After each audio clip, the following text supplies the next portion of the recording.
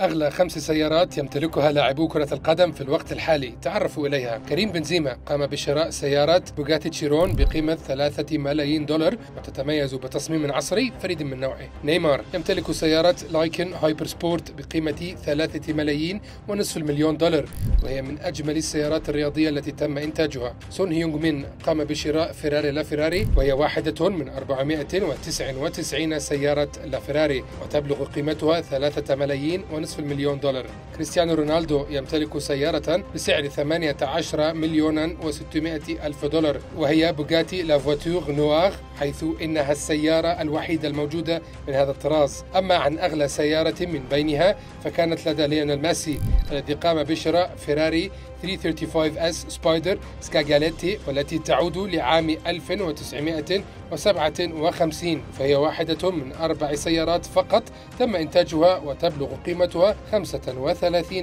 مليون دولار